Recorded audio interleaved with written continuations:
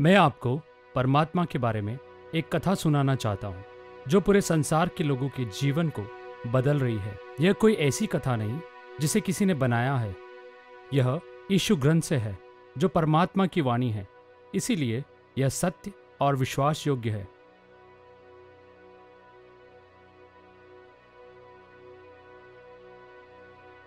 एक ही ईश्वर है और वह परम प्रधान परमात्मा है।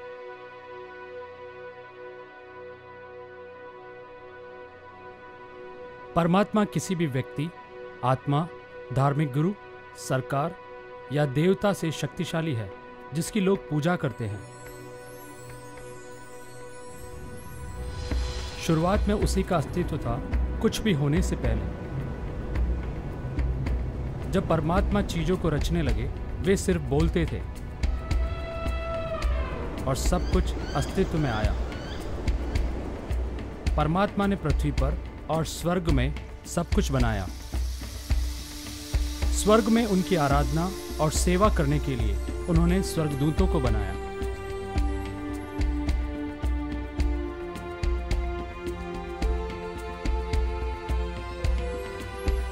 और उन्होंने सब कुछ बनाया, जिसे हम देखते हैं।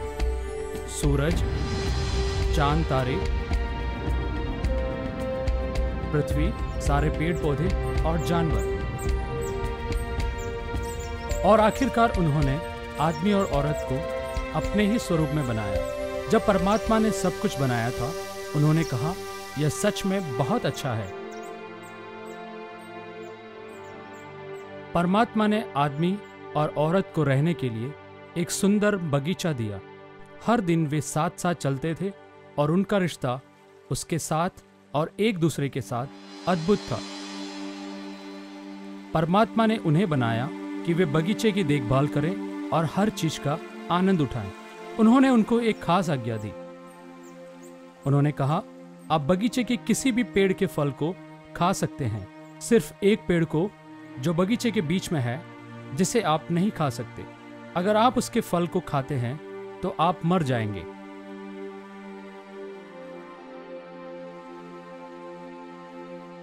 आदमी और औरत का रिश्ता परमात्मा और एक दूसरे के साथ बिल्कुल सही था। परमात्मा ने हमें इसीलिए बनाया कि हम इस प्रकार का रिश्ता उनके साथ रखें और एक दूसरे के साथ रख सकें।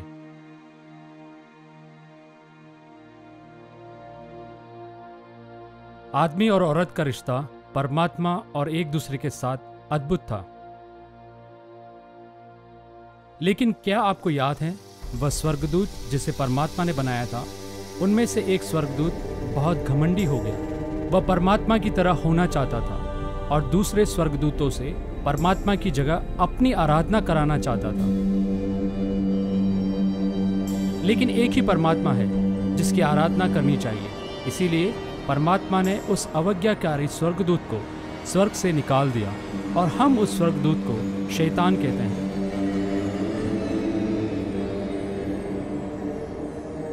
परमात्मा ने उन सभी स्वर्गदूतों को भी स्वर्ग से निकाल दिया, जो उनके पीछे चलते थे। वे बुरी और दुष्ट आत्माएँ थी। एक दिन शैतान ने औरत को उस पेड़ के फल खाने को भरमाया, जो मना किया गया था। उन्होंने उसे पूछा, क्या परमात्मा ने सच में कहा कि आप बगीचे के किसी भी पेड़ से नहीं खा सकते? औरत ने कहा, नहीं, हम किसी भी पेड़ से खा सकते हैं। सिर्फ़ उसको छोड़कर जो बगीचे के बीच में है। अगर हम उसे खाएँ या उसे छुएँ तो हम मर जाएँगे।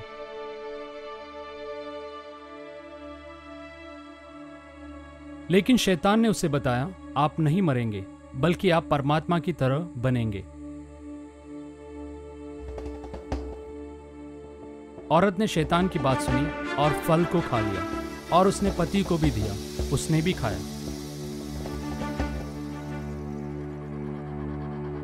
उस दिन उन दोनों ने पाप किया। पाप वही है, जब भी हम परमात्मा के आज्ञाओं का उल्लंघन करते हैं। परमात्मा धार्मिक और पवित्र है। उनको हमें दंड देना होता है, जब हम उनके आज्ञाओं का उल्लंघन करते हैं। परमात्मा ने आदमी और औरत को बगीचे से निकाल दिया और उनका परमात्मा के साथ रिश्ता हमेशा के लिए टूट चुका था। उस आदमी और औरत की तरह हम सबने पाप किया। हमारा परमात्मा के साथ रिश्ता टूटा हुआ है और पाप का परिणाम नरक में अनंत दंड है। हम हमेशा के लिए परमात्मा के साथ नहीं जी सकते। जैसे हम बनाए गए थे, क्या किया जा सकता है? समय बीतते बीतते पृथ्वी पर लोगों की संख्या बढ़ गई। हालाँकि उन सभी ने पाप किया, परमात्मा तभी उनसे बेहद प्रेम करता था और उनके साथ रिश्ता बनाना चाहता था। परमात्मा ने अपने एक सेवक के द्वारा लोगों को दस आज्ञाएँ दी। याद कीजिए कि परमात्मा सिद्ध और पवित्र है तो हमें भी सिद्ध और पवित्र बनना है उनके साथ रहने के लिए। दस आज्ञा ने लोगों को सिखाया कि वे परमात्मा और एक दूसरे के साथ सही तरीके से कैसे रहें। उनमें से कुछ आज्ञाएँ थी। अन्य देवताओं की पूजा ना करें। न मूर्तियों को बनाए। अपनी माता पिता का आदर करना। झूठ ना बोलें। चोरी ना करें। हत्या ना करें। दूसरों की चीज़ों का लालच ना रखें। वे विचार ना करें। लेकिन कोई भी इन सारे आज्ञाओं का पालन नहीं कर पाया। हर बार जब वे पाप करते थे, परमात्मा ने उनको अपने पापों को स्वीकार करने दिया और एक बलिदान चढ़ाने दिया, जो उनकी दंड की जगह को ले लिया। यह बलिदान एक सिद्ध जानवर के खून बहने से ही पूरा होता था। जब वे इस बलिदान को चढ़ाते थे, परमात्मा से विनती करते थे कि उन्हें क्षमा करे और वह जानवर उनकी जगह मर जाने दे। सिर्फ़ खून के गिराने से किसी व्यक्ति का पाप क्षमा हो सकता है। लेकिन जैसे जैसे समय बीतता गया, वे हृदय से अपने पापों के लिए दुखी नहीं थे।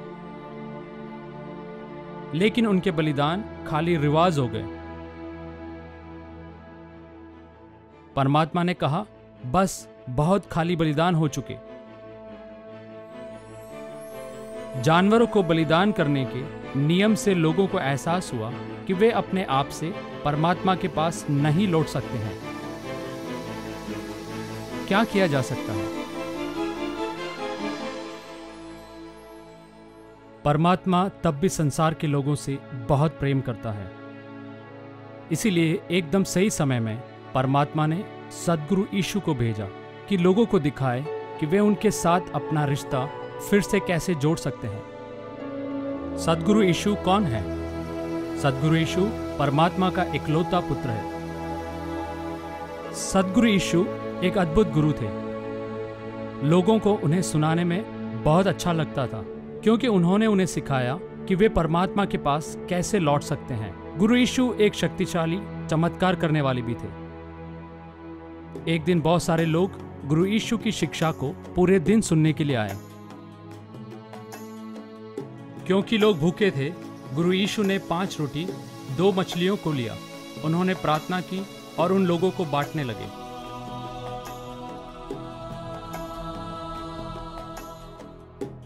उस दिन पाँच हज़ार से अधिक लोगों ने खाया और तृप्त हुए।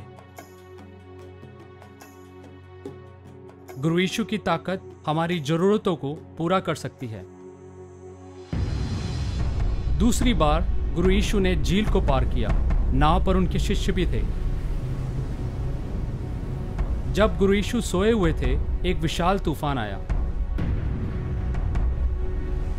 गुरु यीशु के शिष्यों ने उनको जगाया और कहा गुरुजी हम लोग मरने वाले हैं।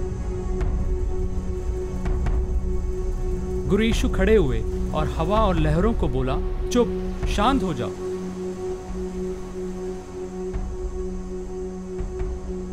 हवा और बारिश तुरंत रुक गए। गुरु यीशु की ताकत प्राकृतिक संसार से महान है। जब गुरु यीशु झील के उस पार पहुँचे तो एक हिंसक आदमी से मिले, जो कब्रों के बीच में रहता था। वह बहुत सारे दुष्ट आत्माओं से ग्रसित था और बहुत ही खतरनाक था। जब गुरु यीशु ने उसे देखा, उन्होंने उसे भी प्रेम किया। उन्होंने दुष्ट आत्मा को बोला और कहा, जाओ। उन दुष्ट आत्माओं ने उस व्यक्ति को तुरंत छोड़ दिया और उस आदमी का दिमाग स्थिर हो गया। गुरु यीशु की ताकत दुष्ट आत्माओं से महान है। किसी और दिन प्रभु यीशु का एक करीबी दोस्त बीमार हुआ और मर गया। कुछ दिन बाद गुरु यीशु अपने दोस्त की कब्र पर आए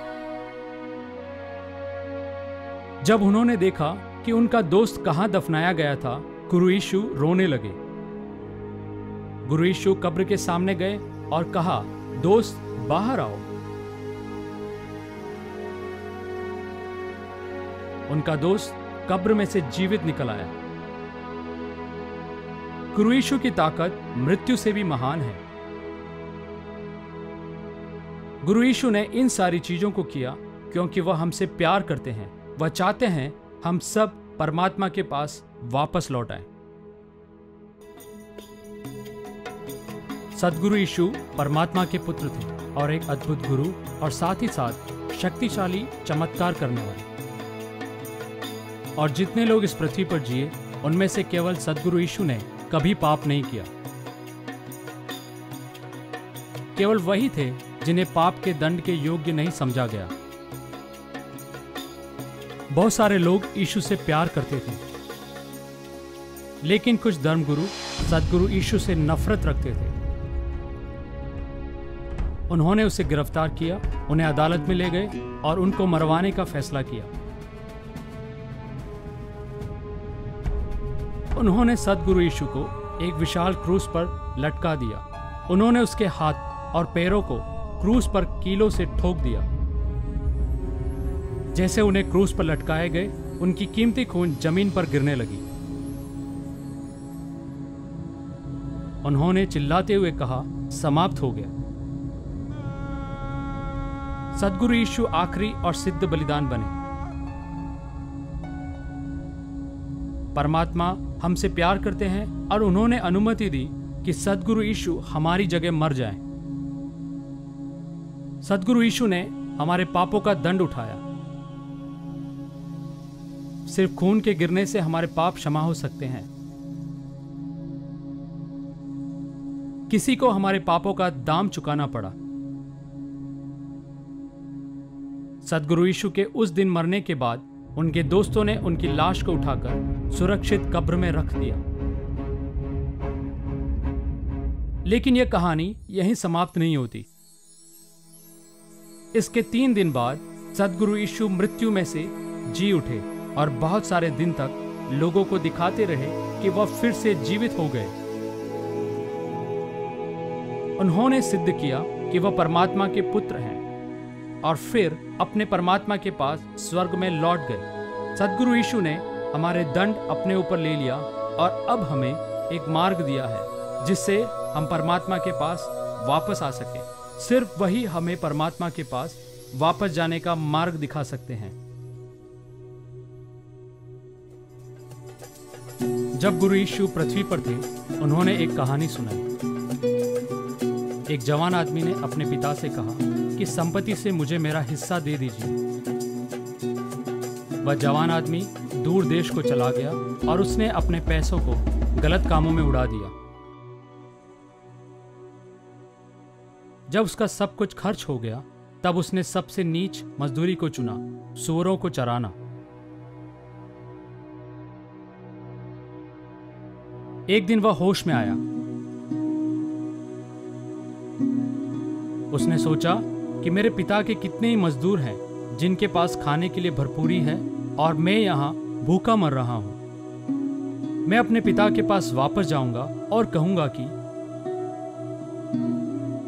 पिताजी, मैंने स्वर्ग और आपके विरुद्ध पाप किया। मैं अब आपका बेटा कहलाने योग्य नहीं हूँ। कृपया मुझे अपने एक मजदूर की तरह रख ले। तो वह उठकर अपने पिता के पास गया। लेकिन जब वह बहुत दूर ही था, उसके पिता ने उसे देखा और दया से भर गया। वह अपने बेटे के पास दौड़ा और उसे गले लगा लिया और उसे चूमा। बेटे ने पिता से कहा, पिताजी मैंने स्वर्ग और आपके विरुद्ध पाप किया। मैं अब आपका बेटा कहलाने योग्य नहीं हूँ। लेकिन पिता ने अपने नौकरों से कहा, जल्दी से सबसे अच्छा कपड़ा लाओ और इसे पहना दो। उसकी उंगलियों में एक अंगूठी पहनाओ और उसके पैरों में चप्पल डालो। आओ हम दावत करें और खुशियाँ मनाएँ। क्योंकि मेरा यह बेटा खोया हुआ था और अब यह मिल गया है। हम सब इस जवान बेटे की तरह हैं। हम सबने पाप किया और हमारे पिता परमात्मा से दूर हो गए। लेकिन इस बेटे की तरह हम परमात्मा के पास वापस आ सकते हैं। हमें अपने पापों के लिए क्षमा मांगना चाहिए और परमात्मा के पास वापस आए उस जीवन को पाने के लिए जो वह चाहते हैं कि हमारे पास हो, उसके बच्चे होने के नाते। सदगुरु यीशु ने कहा कि मार्ग, सत्य और जीवन में ही हूँ। मेरे बिना कोई पिता परमात्मा के पास नहीं आ सकता। क्या आप चाहते हैं सदगुरु यीशु आपको परमात्मा के पास वापस ले चले? सिर्फ़ सदगुरु यीशु हमें परमात्मा के पास वापस ला सकते हैं। परमात्मा के पास वापस जाने के लिए आपको स्वीकार करना होगा कि आपने उनके विरुद्ध पाप किया है। आपको विश्वास करना होगा कि प्रभु यीशु आपके पापों के लिए मर गए, आपके दंड को अपने ऊपर ले लिया और परमात्मा से पूछें कि वह आपको क्षमा करे। आपको सदगुरु यीशु में ही विश्वास रखना होगा कि वह आपको वापस लाएँगे और परमात्मा पिता के बच्चे होने के नाते आपको अनंत जीवन दे। सदगुरु यीशु के पीछे चलना होगा आपके नए स्वामी और गुरु के रूप में। यीशु ग्रंथ में लिखा है, परमात्मा ने संसार के सब लोगों से ऐसा प्रेम किया कि उसने अपना अनोखा पुत्र दे दिया, ताकि जो कोई उसके पुत्र पर संपूर्ण विश्वास करेगा, उसका विनाश नहीं होगा, परंतु अमृत जीवन पाएगा। आप परमात्मा के पास जा सकते हैं, जैसे उस जवान आदमी ने किया। वह अपने पिता के पास लौट आया, कुछ ऐसे कहते हुए, परमात्मा, मैं जानता हूँ कि आप मुझसे प्यार करते हैं। मैंने आपके विरुद्ध पाप किया और मैं माफ़ी चाहता हूँ। मैं सदगुरु यीशु पर विश्वास करता हूँ कि उन्होंने अपने संपूर्ण बलिदान से मेरे दंड को ले लिया। परमात्मा, कृपया मुझे क्षमा कीजिए। मैं सहमत हूँ कि मैं सदगुरु यीशु को अपना स्वामी मान के उनकी आज्ञाओं का पालन करूँगा। अब से हमेशा तक मेरे अमृत और नए जीवन के लिए धन्यवाद। आपकी संतान के रूप में। क्यों नहीं आप उसे अभी इसी वक्त पुकारें?